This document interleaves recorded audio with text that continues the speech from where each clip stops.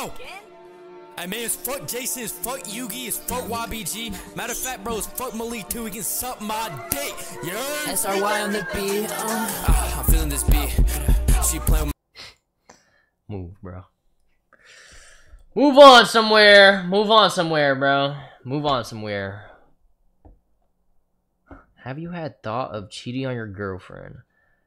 Why would you?